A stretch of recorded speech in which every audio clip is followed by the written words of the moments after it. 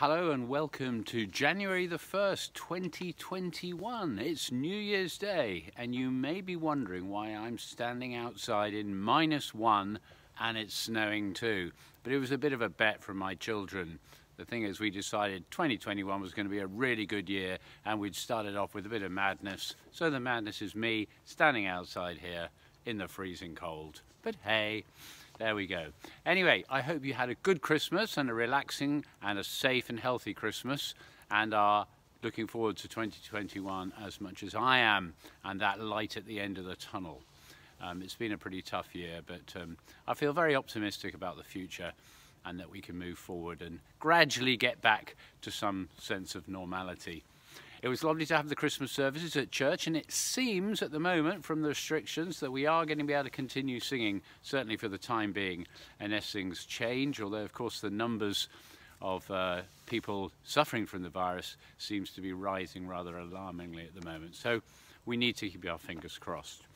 I'm looking forward to this weekend because we're going to be celebrating the Epiphany and welcoming friends and singers from uh, other churches in the parish to our Epiphany service on Sunday evening, uh, to which you are very welcome. There are also online services as normal, which you can find at www.swanishteam.com. I think that's still right, isn't it? .com, swanishteam.com. Yep, uh, my brain's addled, I think. Um, good. So, how did you get on with Quickfire 5, the Christmas Quickfire 5? It seems a long time ago. I had to look up what I'd asked you. Anyway, I've got it here in front of me. And so question one was, what was the first published carol uh, written by John Rutter, which he wrote at about the age of 18? And of course the answer is the Shepherd's Pipe Carol. You remember that one with the twiddly organ accompaniment? The Shepherd's Pipe Carol, that's the answer, and that set John on his way. Uh, question number two, how many parts, that's how many sections was Bach's Christmas Oratorio written in? And the answer is six six sections, which each one was supposed to be sung on one of the feast days over Christmas.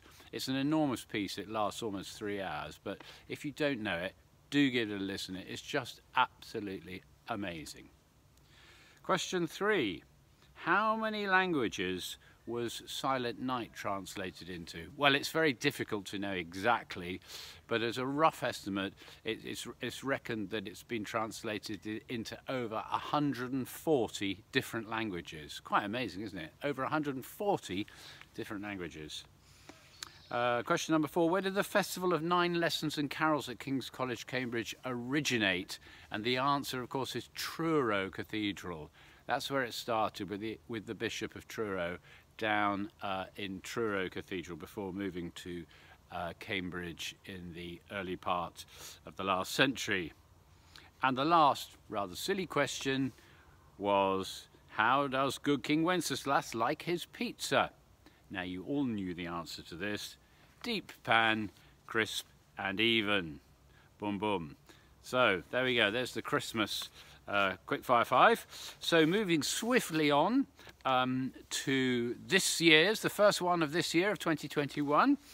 Uh, the first question is, where is the traditional New Year's Day concert held? Every year there's a very famous concert held on the 1st of January. Where's it held?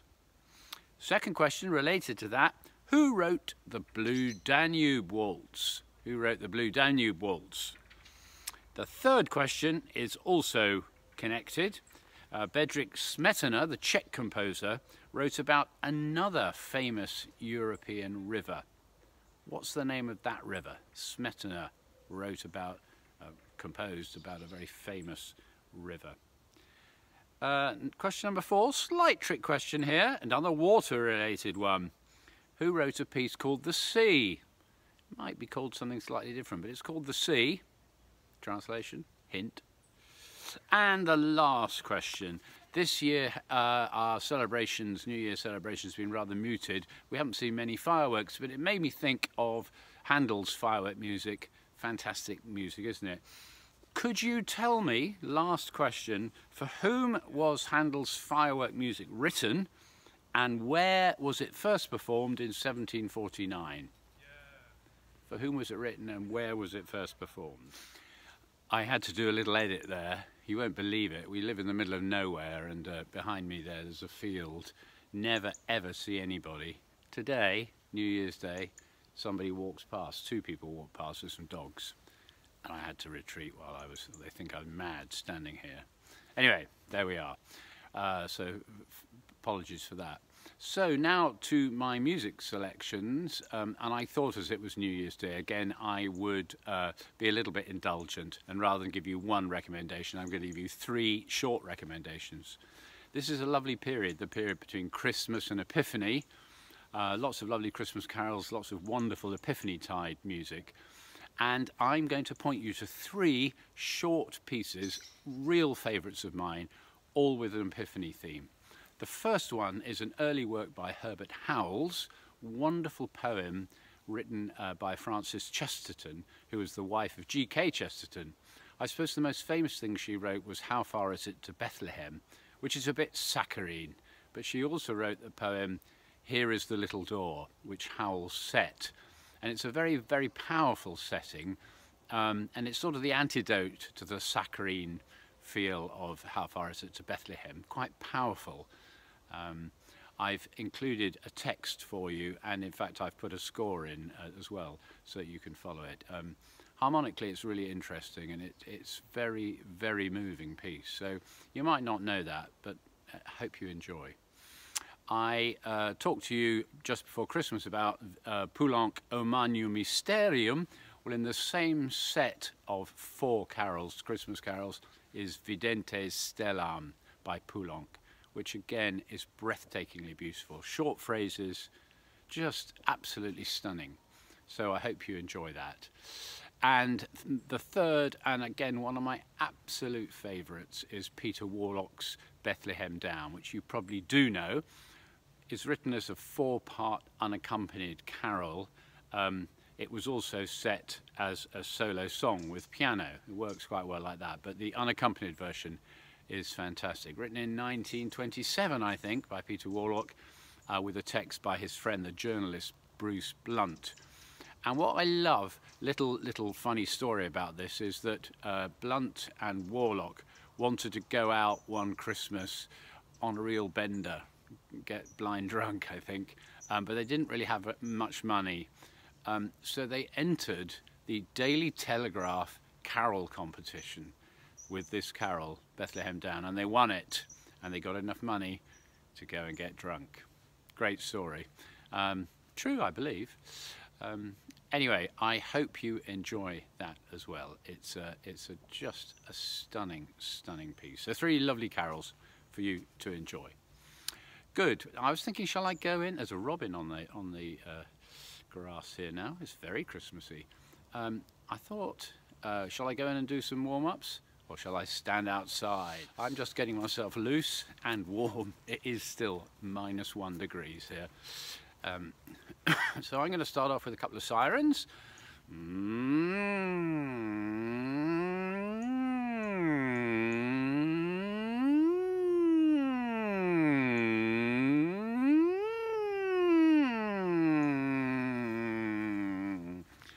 going to shake my feet as well because they're like ice blocks. Good, right? Did you did you do that? Always good. The siren is always good for warming up the voice. Okay, and now I think we'll just do uh, just gentle R, just sliding. Uh, and the next one. Uh,